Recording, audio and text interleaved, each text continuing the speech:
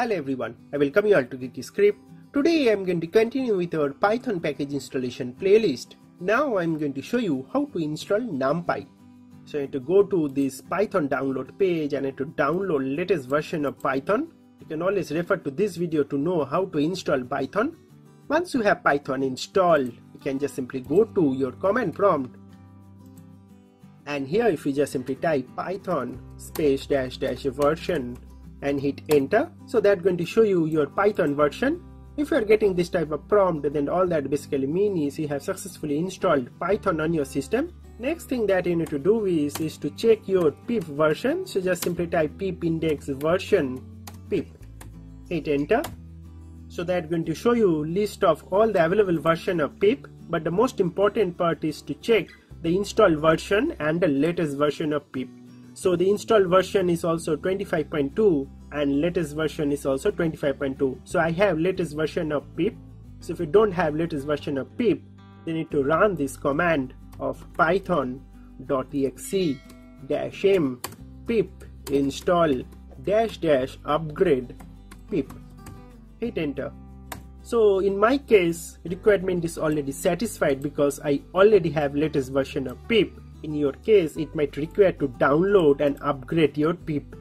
So once you have latest version of python and latest version of pip now it's time to install any python package. So let's first clear our screen. Now to install numpy you need to just simply type python space dash m pip install numpy. Hit enter so that's going to immediately start fetching numpy from internet and going to install it locally on your system you need to have active internet connection for this. And you can see that our numpy is now rightly installed. Once you have numpy installed you can close this and you can go to search and open python idle shell. So open that.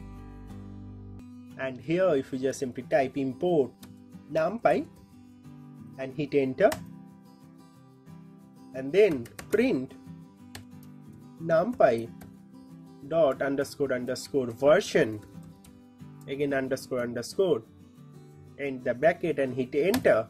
You are going to get this version number of numpy.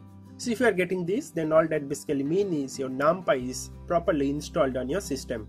In this way you can easily install numpy do check out our cool python project playlist. So all these videos are completely free. I am sure you're going to love them if you watch these videos. And the best part is detailed source code are also available for completely free on our official geekyscript.com website.